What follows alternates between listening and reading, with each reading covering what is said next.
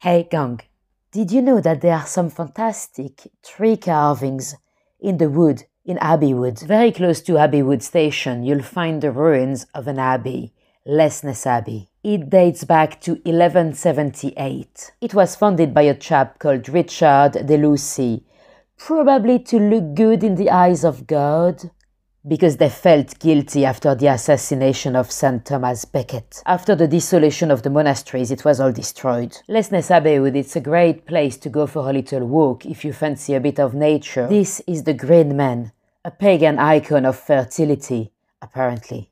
You'll find four of those amazing tree trunk sculptures. They are from 2016. The amazing artist is called Tom Harvey. And of course, nowadays, the Abbey Wood, it's fairly easily accessible. With the Elizabeth line, you can stop at Abbey Wood.